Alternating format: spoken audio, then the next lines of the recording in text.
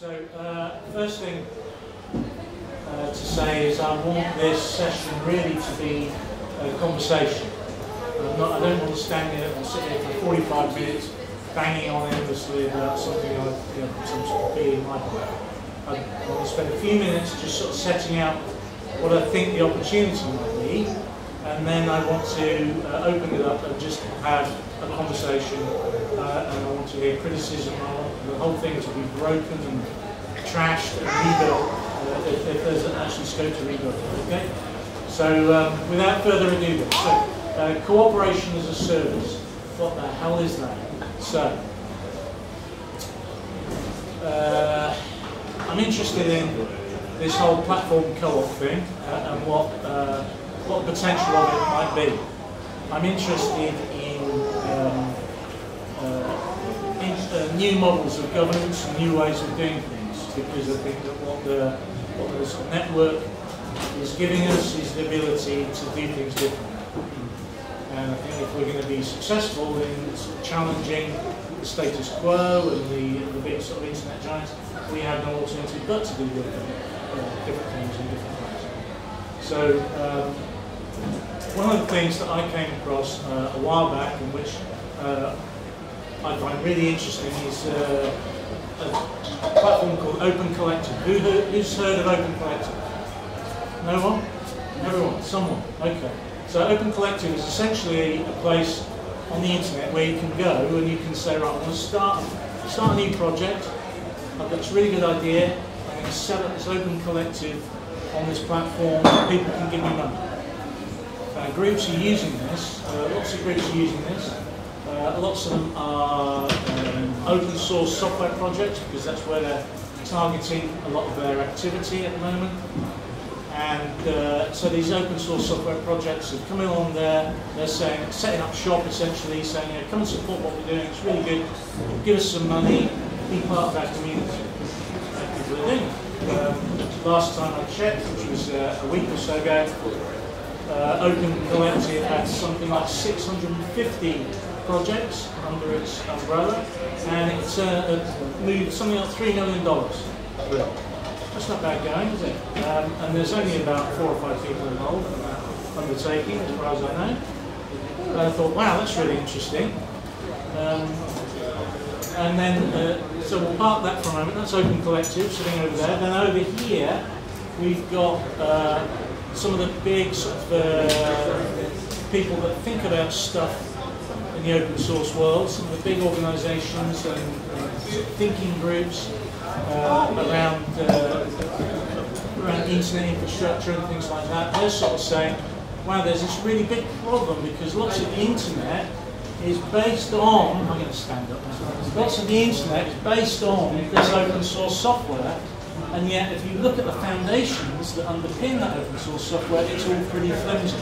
There's actually a lot of stuff where you know, you drill down right into the nitty gritty of it, there might be a handful of people in a smoke-filled room writing code and half the planet's reliant on it. You know, it's crazy. It just doesn't stack up as a sensible model. It's not sustainable. Um, so, uh, and then you look at what's happening with a lot of these open source projects, the ones that grow and become successful and big, they tend to be co-opted by capital. You know, the big players come into that space, IBM or Google, Microsoft or whatever they might be, they're coming into that space with their, with their dollars, their venture money, and they're sort of saying, yeah, we love this open source stuff, and uh, come and be co-opted by us. And, and, that's sort of happening. So uh, that's actually quite dangerous, I think, because if you look at what's happening, uh, again in that space in terms of licensing of that code, uh, more and more of those projects are being licensed under uh, licenses that enable the private sector to privatise that code. Okay, so they're not uh, they're not um, proper copyright licenses in, in, that sense. And, and, you know, I'm not a lawyer, so I can't comment particularly on the nitty gritty of that. But that's what that's sort of what I'm seeing in terms of the landscape out there. So there's lots of open source software projects happening. Lots of people trying to do really interesting things with code. They're writing this code, they're releasing it, and uh, it's being gradually uh, co-opted by uh, the other side. Um, so, and, and, then you look at you look at the open collective thing again, and you look at who's putting money into that, and some of those big corporates are in there. They're investing, you know, uh, because they're they themselves are reliant on some of this code, so they're putting money behind these things. So, it, on the face of it, it looks great. You know, there's okay, big corporates are coming in and they're funding open source software. Isn't that fantastic? And I'm thinking, well, yeah, but is it sustainable? Where's it all going to end up? I don't think, uh, yeah, I don't like the look of this. So uh, what I'm thinking about um, is the idea of trying to cooperativize some of these projects and thinking about how we might do that. So there's some interesting projects out there that are using the sort of new digital tools to build uh, support mechanisms for cooperatives. Um, there's uh, in the States, there's Start.coop, it's just started up. We've got uh, Incubator.coop in uh, Australia. I'm involved with Platform6.coop here in the UK. Um, yeah, we're of trying to do similar things and trying to sort of, like, uh, let's leverage some of these tools to, uh, to move the whole idea of cooperative development more into the, into the 21st century and how we do that effectively in a digitally mediated and networked environment. Uh, so, how do we bring these things together? So, um, I got in touch with one of the people at Open Collective, um, uh, Alanna Irving, who you might have heard of. She used to be an Enspiralist. Now working part-time with Open Collective. And I said, I think it's fantastic what you're doing with this fiscal sponsorship, whereby you can come and do stuff get money in, and you don't have to have a legal structure, you don't have to have a bank account. You, know, you know it's really, uh, it's really a very lightweight way to sort of get stuck in and start doing things. I think it's fantastic what you're doing. What about uh, what about ideas around governance? And she sort of like pulled my arm off and said, yeah, that's exactly what we're trying, that's what we're interested in doing. We're interested in Open Collective itself becoming a cooperative in the, in the medium term.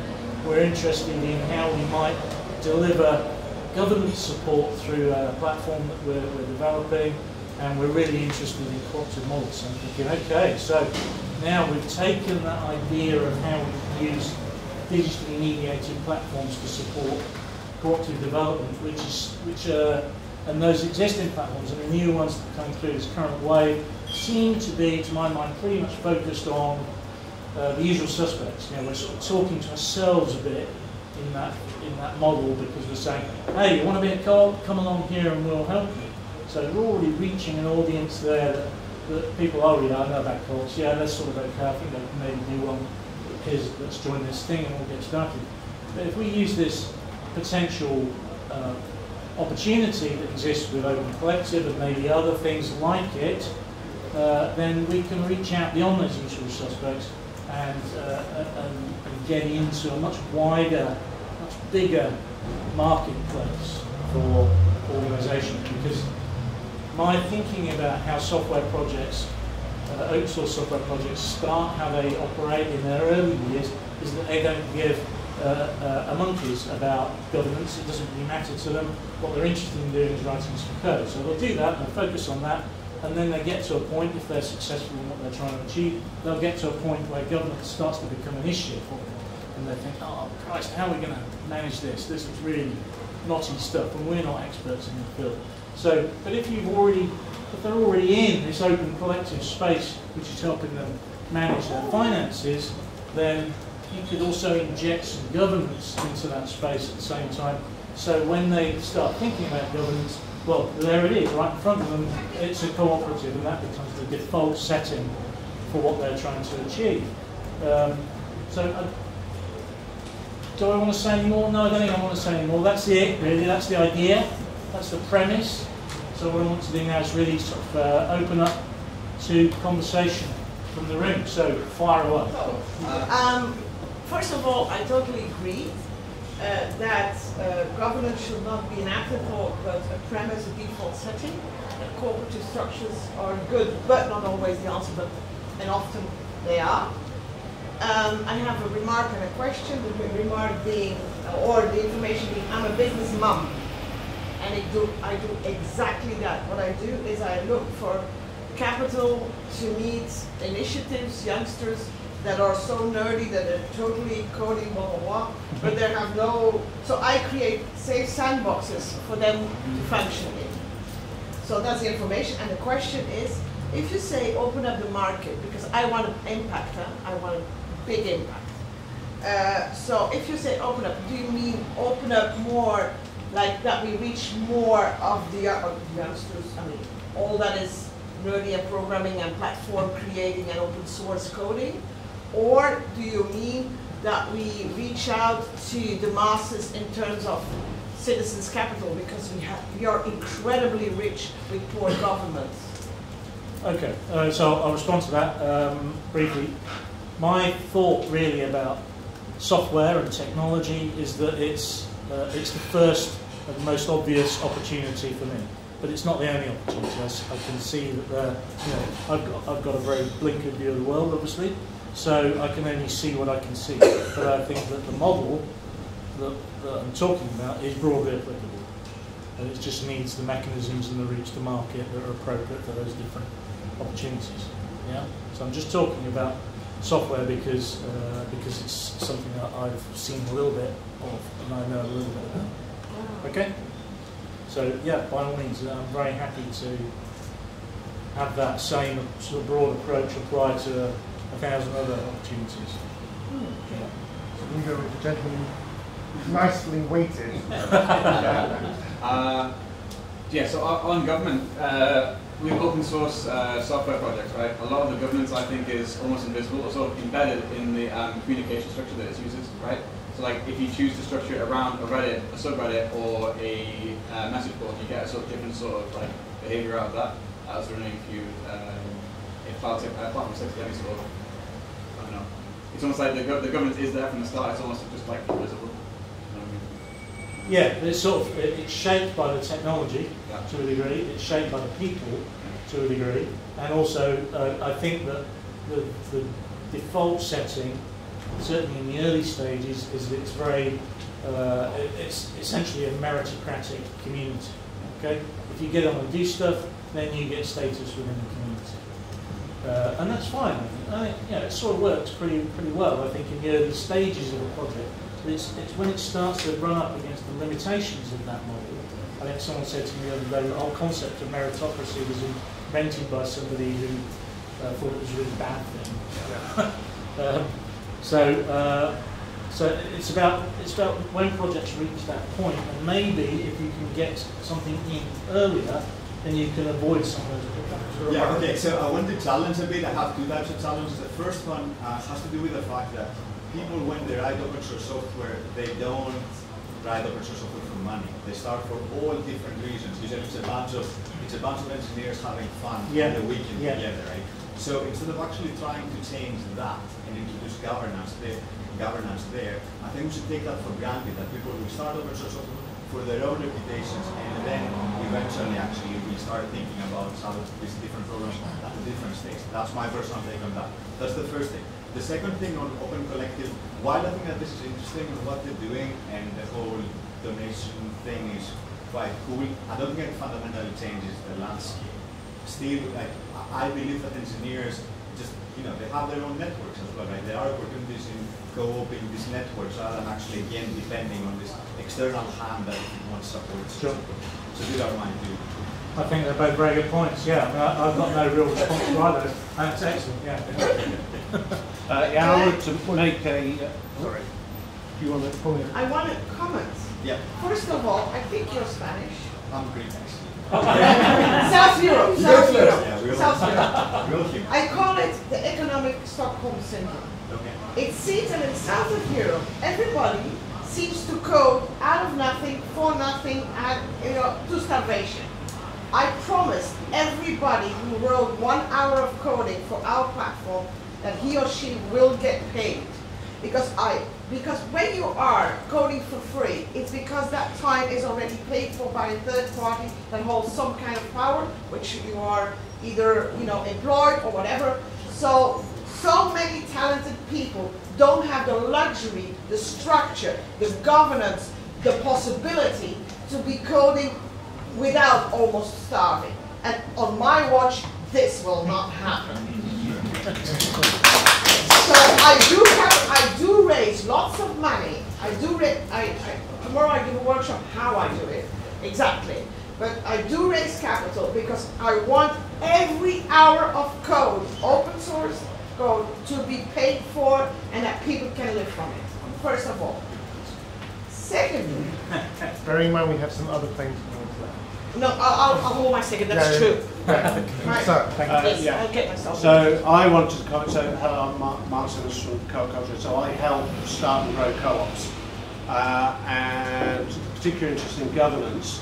So really excited with the interesting stuff that's coming around, particularly through the Open Co-op platform co-op movement, uh, around sort of like digital sociocracy, lots and lots of interest in all cooperatives in using these models, which, which as far as I can see are basically uh, predicated on, it's almost like how do we develop, run, grow an organisation the same way as we run our software projects. Lots of excitement around that. The, the challenge is, is to map that onto the underlying stuff that we have to have around company structures and things like that, and the underlying sort of uh, accepted practice around governance. Uh, so that's the really exciting thing around that. So what I'm really saying is there's a real virtuous circle here, is what we're developing for what we're doing here with a digital focus is real interest and excitement and possibly even marketable to the rest of the cooperative movement and wider. Can we collect, collect our remaining two points, and then I'm going to ask if you want to do things slightly differently. So, gentlemen with the rainbow brace. Um, I just wanted to sort of throw in something um, about who engineers are, like who coders are. Um, and, I, and I think like sometimes we have an idea that you know that the like the people in manufacturing iPhones are all sitting in a factory somewhere on a production line running one piece of coding. I think that's a really poor metaphor. I think there are probably some shops that work like that. They're probably more graphic design shops um, run by marketers. But um, the mental model that I use is punk rock. Which, sorry? It's punk rock, particularly with open source. Is that people get together to create a software project for the same reason, reason well, similar underlying reasons to why people get together to play music. It's because they're really passionate, they want to create something with a vision, they have some ideas about how they're going to work together to realise it. And, and I absolutely agree with what's being said, that there's no no thought about the future, no future. It's about creating it now. So then the question becomes, if they do create something people then become dependent on, something that needs to be funded going forward, that that's where the rubber meets the road. And in, in punk rock, what happens is people sell out. Uh, they get a, a record deal, the corporation takes over, and then they own that product henceforth. And I think, and, and this, we see the same thing with digital. You know, Google buys it or Facebook buys it. The underlying dynamic is very similar. And what we're trying to do is create a structure that can step in just before the corporation gets there to sign that record deal. And go, no, no, sign with us instead. We'll take better care of you. Yeah. You'll get more of the profits back, etc., etc., etc. We've got one last question, and then I'd like Graham to come back to you. It's more more of a comment uh, and, a, and, a, and a request than a question, sorry. Um, so Co-ops UK, we've been registering co-ops for 150 years, but it's exactly that point about how we've been doing for 150 years is not the way we should be doing it now. And so it's a kind of a request to the sector to say, how can we help you register co-ops so that you don't have those legal and financial problems too late in a way that works for you. So we've literally just put our company rules for a work co-op on GitHub, so you can play with it, you can fork it, you can do stuff with it. And that's just because we, we're not tech people, we're legal people. So we want to talk to you about how to, that interface of what we've done for 50 years and what you guys are doing now. Hey. It's just a plea. Can you flip your lanyard? so you Oh, can John. John Cox UK. Uh, you just, it's gone back. Yeah. So, Graham, do you have any comments on all of the different Uh, okay, so, well, just coming back on that one about legal structures and, and all that sort of stuff, I think that's really important. But I think part of the, part of our problem as a, as a movement, as a cooperative movement, is we're, we're very focused on all that stuff. We love it. Really get our hands into the nitty gritty of clause 78B. You know, we really enjoy all that stuff. But actually, if you look at what Open Collective is doing as a, as a platform, it's just saying, okay, we're not really interested in all that right now. Uh, we'll deal with that later when and as it's appropriate. What we're doing now is, uh, is we, we just want to uh, enable this stuff to flow. And that's exactly what your point there is. You know, people are coming together they're passionate about what they do, they've got a great idea, they just want to crack on. They're not interested in legal structures or bank accounts or any of that rubbish. What they want to do is what they want to do. But you know, it's about what happens when the rubber meets the road. Then you need to be ready to go. And, and the, our problem is, is that you go and speak to any accountant or lawyer or bank manager anywhere in the world, pretty much, and they're going to say, yeah, just set up a company. And then you can own that stuff, and then what you find is, okay, well, if we need to raise some money, what then needs to happen is you get an investor coming in and saying, yeah, yeah, I'll give you some money, you just give me 50% or 51% of what you win, and, and that's it, bang, exit strategy, and you're down the road. You know, and that's what we don't want to have happen. So, so I know we've got some more questions. People have got their hands up, is great. We've got 15 minutes left. And I suppose, Graham, I'm wondering about what would be of most use to your idea. Okay. So uh, one thing is we can keep on going with questions like this, which I think will be one sort of fun. Another kind of thing is if you have something you need help with, we can ask the group for help. We can split the group and Yeah. What would be the most useful thing for your idea? you? Uh, I don't know what the most useful thing is. A useful thing, Um, I think that there are lots of useful things. What I'm, uh, what I'm really excited about is we've got a room full of people on the basis of you know 30 words that I wrote on Loomio the other week, which is so there's clearly interest in, in this idea. Um, no one's yet said no, it's absolute rubbish and it will never fly. So that's also very encouraging. So uh, I guess um, you know, I'm very happy to try and facilitate an ongoing conversation about this. Um, and uh, you know, Laura's here from Digital Life Collective. I'm also involved with the Digital Life Collective, diglife.com. So there's an opportunity for a, for a bit of a framework that might facilitate that. There's a, they've got an open discourse platform where we can carry on this conversation, and that's at Life.com, click the Uh, yeah. Okay, so go to diglife.com and you'll find a link to a, a public discourse platform, an open forum platform where we can carry on in. So I'll, I'll post something up there following this because I, you know, I came to this uh, session thinking, well, I might get two or three people along, who knows. So but we've got yeah, 30 odd people in there, which is fantastic. So there's clearly something there. So if anyone's got any ideas now in the remaining 10 minutes about uh, where to go with it next, then speak up. Uh, Just a quick question on the, the definition of, of governance. Do you see it as being a code of practice, a constitution, a, a written sort of codified practice? Or do you see it as being something that is uh, more of a, maybe a, a culture, something that needs to be learned, or something that may be enabled by a tool, but also takes a bit of a bit of learning, a bit of experience from people coming into it? Because I think it sounds like when you have these problems, these conflicts, you need the softer side as well as just the rules. And I I wonder if you've got any ideas for how to deal with that. Okay, uh, I think it's a very good point. Yeah, so uh, we tend to sort of start talking about concepts and then immediately fall back on some concrete stuff that's down there. So if it's as, you know, if it's GitHub, then that's the default governance model. Or if it's uh, you know a code of practice, right? Okay, let's write write it up, and there's a document that we can stick on the forum or whatever. Um, but yeah, you're absolutely right. It is about culture as well, uh, and I, you know, it's it's that whole spectrum that, that needs to be uh, engendered and fostered. And I think that uh, someone uh, in the corporate development Loomio group uh, the other day uh, was talking about the idea of non-executive directors. You know, that's a very formal approach, but you could equally have a, a, mentor or you know, a softer approach there. So you, if you, you, know, you go down that route and, and there's maybe somebody there who's just sort of nudging. You know, like David here has been really helpful facilitating this session. I didn't really ask for it, but he's, he's done a fantastic job in my view. I Um, mean, the session's not uh, but he's yet. not been he's not been heavy-handed at all. I don't think he swore at anyone. Um, so you know that sort of model. There are eight Where, you know, he's, he knows how to do these things better than I do, so he's done a fantastic job of just sort of guiding us through this 45 minutes quite effectively, I think. So that sort of cultural injection, as it were, is also really important.